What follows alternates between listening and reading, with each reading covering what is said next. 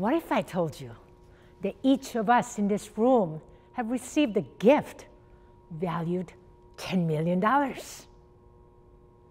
That gift is your life. Statistical value of life by economists is $10 million. You could Google it. But indeed, our life is priceless. So, how would you live your priceless life to its fullest? I'm going to share with you how I achieved my dreams and how you too could achieve your dreams. Let me take you to the intensive care unit where I was a medical resident on call. It's 5 a.m. I've been up all night long trying to keep my patient alive. He's been on a ventilator connected to every machine with cardiac and respiratory failure. And he has not made any urine for days because his kidneys had also shut down. I've tried everything I could to turn this patient around, but so far with no luck. Then I caught a glimpse of something new. Drops of urine is trickling from patient's Foley tube into the plastic bag. Wow! This was the first sign that my patient is turning around from dying. Overwhelmed with joy and almost in tears, that one ounce of urine felt like liquid gold. At that moment, I felt the preciousness of life deep in my soul. At that moment, I realized a decade of my medical training and all that hard work was all worthwhile to save his one life. At that moment, I realized that finally I have become a physician. And then I remember when I was a little girl in Korea, Dr. Dare had saved my life. Fast forward 30 some years, here I was, paying forward and saving lives. But you might be surprised to hear that being a doctor was not in my original plan. Instead, I grew up in Korea dreaming of becoming an artist. I was fascinated in colors and creating beautiful things. And I dreamed of being an artist someday in Paris. But you know, life has a way of throwing some obstacles in our path, and sometimes monumental obstacles. So, this was me when I was little. This is my family my mom and two younger brothers, with my father taking a photo. And I was a high school student. So everything changed overnight when my family and I moved from Korea to the USA. South Korea back then was still a poor country, faced with a constant threat from another invasion from north. I was 16 years old, and my father was already in his 50s, and we spoke no English.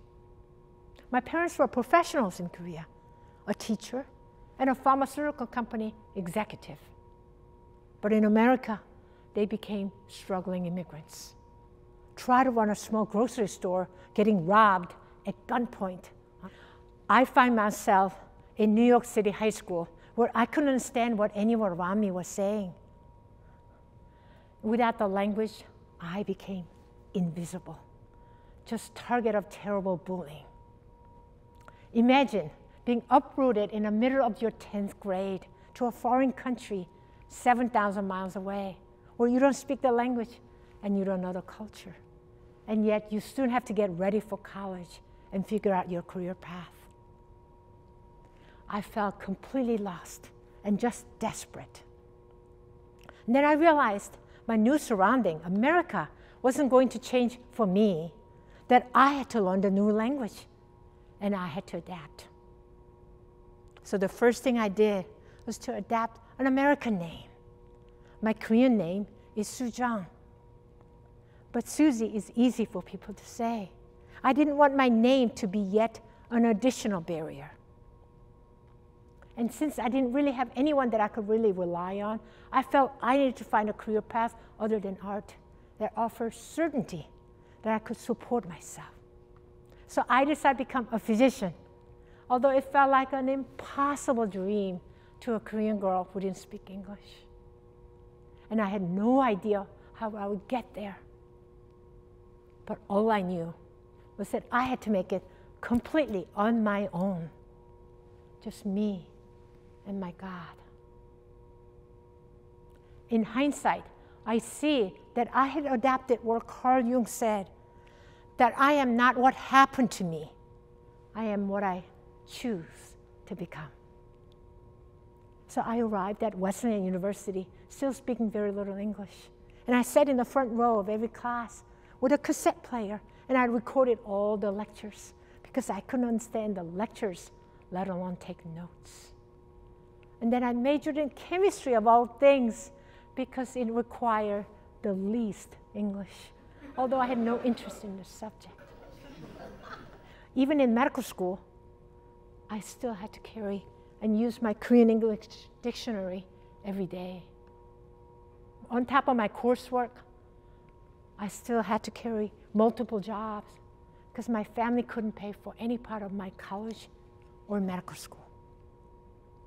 But eventually came the end of my training.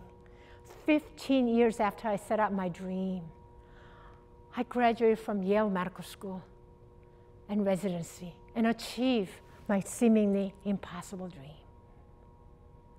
And then I jumped right into medical practice and got busy right away.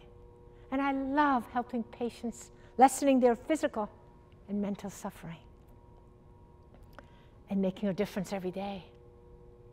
And I have so many wonderful, unforgettable stories, some of which are from my medical mission trips abroad. But there was one thing missing from my life my original passion for art, my original dream. It had been buried for decades and couldn't be suppressed anymore. But where was I going to find the time? I was so busy with medical practice and raising two children. And then something happened. About 10 years ago, when I was driving home after a long, long day, I dozed off, and my car swerved across the midline in the highway. Luckily, I didn't crash. But that moment made me realize that if I had died then, I would have never got to live my original dream as an artist. That pivotal moment gave me the clarity that I needed to revive my lost dream. So I started studying art every chance I had, taking evening classes, doing group shows, and eventually solo shows. Bringing art back into my life felt like an oasis in the middle of a desert. But most of my paintings had to be done past midnight. But eventually, I celebrated my new identity as a physician artist. I've shown my art all around the world, from New York to Paris, from Miami to Madrid to Brussels, as I continue to care for my patients. As a physician, my goal is to lessen my patients' physical suffering. But in medicine, I witness a lot of human suffering. And because of that, my mission as an artist is to bring beauty, joy, and a healing in the world full of darkness. My colors are bright and bold, and I strive to highlight the beautiful side of life with my artwork. Underlying theme of my art is love of life, passion, and a beautiful journey called life. I have series for ocean lovers, music lovers, and wine lovers. As a physician, I am highly analytical and very, very precise. But when I enter my art studio, I let go of all that control and allow myself to become an instrument of creative muse. Letting go of all that control and all the fear, I get to create magical, spontaneous pieces that portray the freedom to the viewers.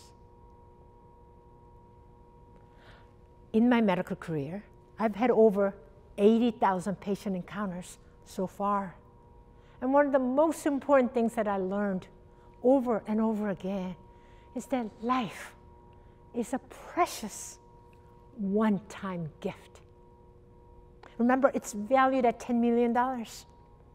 But from medical perspective, you and I are worth far more. I've been with many patients near the end of their life, and many have regrets about the things they didn't get to do. Research shows only 2% of people fulfill their life dream. Check out this cute cartoon of Snoopy following his dream. so, how will you achieve your dream with one precious life you have? I'm going to share with you four keys. Key number one get clear on your dream. So, how do you get clear on your dream? I want you to imagine that today is the last day of your life. Do you have a dream that you wish you had pursued? Write it down. Harvard Business School research shows that having a written goal makes it 10 times more likely you'll achieve it. Key number two visualize your dream. Visualize your dream in a great detail, as though it is already your reality. And then practice doing this for five minutes every morning and every night. I used to visualize being a physician in a white coat, treating patients, although I was just a high school student learning to speak English. Key number three know your enemies. When you get stuck, check to see if one of these inner enemies is in play. SEFU self doubt, excuses, fear, and feeling of unworthiness. First step in overcoming these negative forces is recognizing and labeling them for what they are. Once you label them, then there are some specific tools you can apply. For instance, did you realize that most of our fear is based on some imagined event that hasn't even occurred? And likely never will. Courage is not lack of fear, but feeling it and taking action anyway.